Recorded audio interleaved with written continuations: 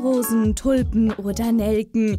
Verschiedenste Blumenarten, soweit das Auge reicht. Die Ausstellung La Vie en Rose zeigt die Vieldeutigkeit der Farben und Gefühle in der Blumenmalerei auf. Blumen und Blüten aus den Jahrhunderten sind hier das Motto der Ausstellung.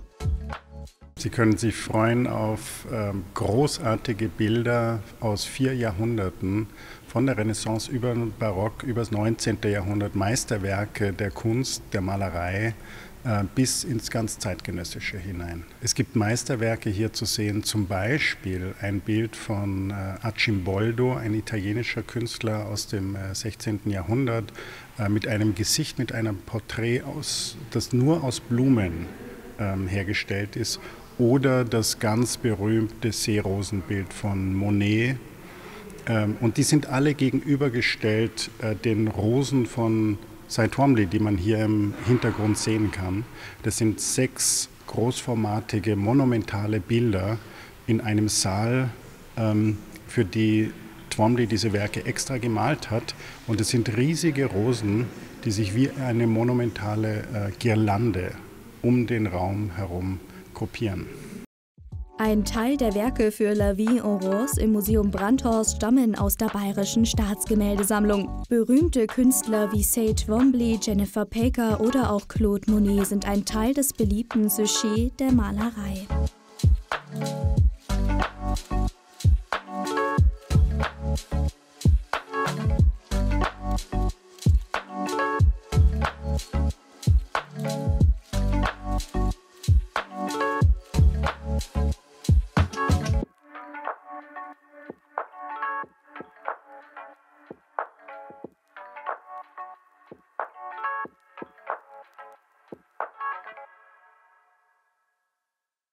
Also es ist einfach eine, ähm, eine, eine, Ausstellung, die Spaß macht. Das, sind, äh, ist ein bunter Strauß an Bildern, die thematisch geordnet sind. Blumen ist ja ein begleiten unseren Alltag. Blumen sind ähm, ähm, Pflanzen, die wir verschenken, die wir Freunden, Freundinnen schenken, die wir Menschen geben, ähm, die wir mögen, die wir verehren, die wir lieben. Äh, und gleichzeitig sind Blumen aber auch immer ein Reflexionsmedium gewesen, über alle Kulturen hinweg. Blumen, ähm, da projizieren wir sozusagen unser Leben hinein, das Wachstum, Jugend, Schönheit, Alter, Vergänglichkeit, Tod.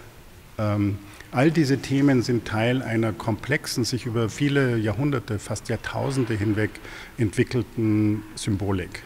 Die Ausstellung läuft noch bis zum 22. Oktober und ähm, wir haben hier im Museum Brandhaus gerade drei Ausstellungen parallel zu laufen, die über den ganzen Sommer zu sehen sind. Zum einen eine Sammlungspräsentation mit Werken, mit Klassikern von Andy Warhol, aber auch bis ganz aktuelle Künstler, zum Beispiel die afroamerikanische Künstlerin ähm, Kara Walker. Aber, und wir haben eine groß angelegte Retrospektive von Nicole Eisenmann einer amerikanischen Künstlerin, die vielleicht äh, wie keine andere Künstlerin ähm, die Kunstgeschichte mit ähm, einem, sage ich mal, feministischen äh, Impetus konfrontiert hat. Insgesamt sind vier Jahrhunderte von der Renaissance bis hin zur modernen Kunst bildlich vertreten. Für den Kurator der Ausstellung Achim Hochdörfer gibt es unzählige Highlights.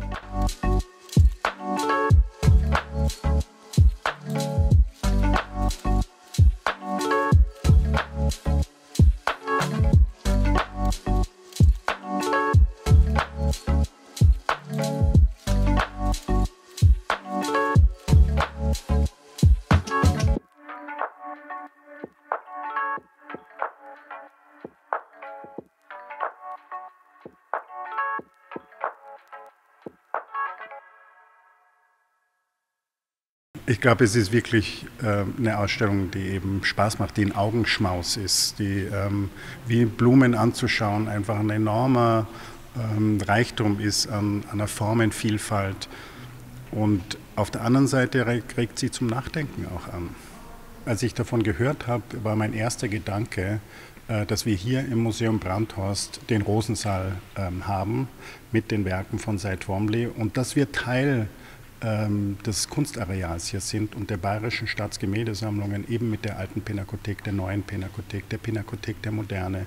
Ähm, und da lag der Gedanke natürlich nahe, Meisterwerke aus diesen Sammlungen hier im Rosensaal zu zeigen. Anlässlich des immer noch laufenden Flower Power Festivals möchte auch das Museum Brandhorst mit seiner neuen Ausstellung die Schönheit der Natur zum Ausdruck bringen.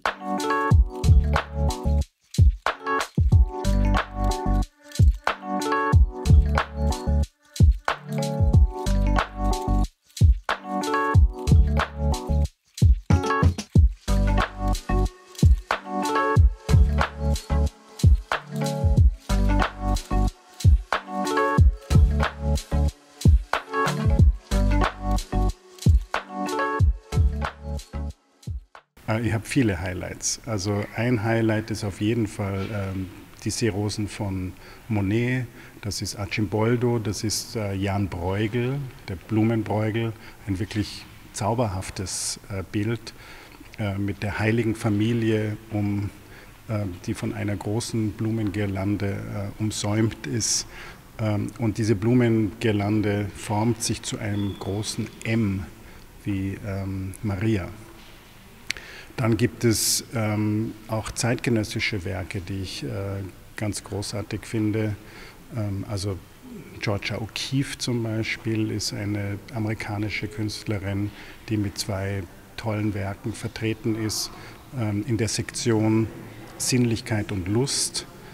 Es gibt noch eine zweite Sektion, die ich ähm, ganz besonders mag, äh, die handelt von dem Thema Freiheit und Einsamkeit, dass eine Art von Rückzug ähm, immer auch äh, eine imaginative Freiheit äh, erlaubt. Und das ist zum Beispiel eine Zeichnungsserie von Amy Silman zu sehen, die sie gemacht hat während des Corona-Lockdowns in New York. Und da ist sie aufs Land rausgezogen und hat, ähm, und hat jeden, jede Früh am Küchentisch ein Blumenstillleben gemalt. Flora-Fans aufgepasst. Die Ausstellung La Vie en Rose ist bis zum 22. Oktober im Museum Brandhorst zu bestaunen.